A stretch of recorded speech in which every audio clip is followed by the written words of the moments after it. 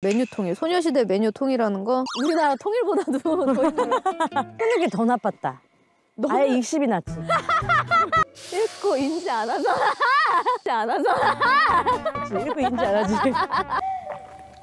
맞아, 크게 터치하네. 옛날 활동할 때는 내가 되게 대단한 일을 하고 있는 줄 알았는데 지나고 보니까 마음이 작아서 그 모든 것들이 다 대단하다고 느꼈었던 것 같아. 아니야. 대단한 일 했지. 야, 솔직히 여자 뭐 여덟 명이 같이 지지고 먹고 사는 것도 힘든 건데 다들 장해. 다들 잘했어. 대단해. 너무 나이 든 것처럼 말.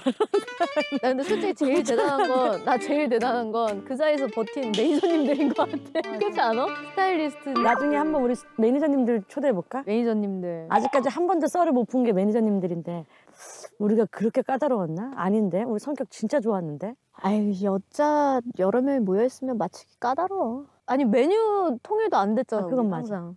제일 어려운 거, 메뉴 통일. 소녀시대 메뉴 통일하는 거. 내가 볼 땐 우리나라 통일보다도 더 힘들어. 절대 못해, 그거. 써니가 있어서 그런 말 하는 거 아니고 소녀시대 멤버들 중에서 매니저님들이 써니랑 효연이를 좀 제일 좋아해. 아니었대. 효연 씨, 효연 씨는 아닌데요? 아니야, 너 힘든 거 딱 하나밖에 없다 그랬어. 핸드폰 안 보는 거. 맞아. 그거밖에 없다 그랬어. 근데 나 같아도 나도 자유 시간에는 무조건 핸드폰 끄고 쉴 거야. 끄는 게 더 나빴다.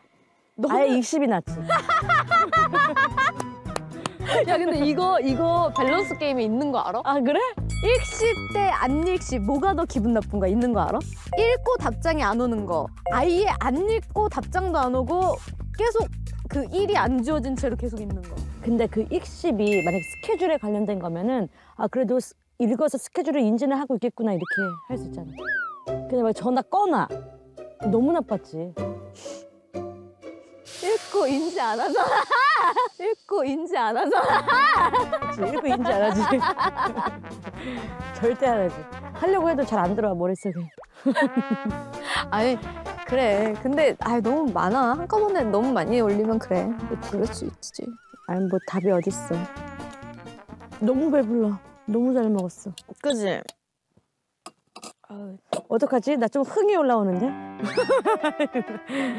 너 자면서 써니한테 노래 불러줄게. 살려주세요. 다 같이 못 자는 수가 있어. 오늘 못 들어가.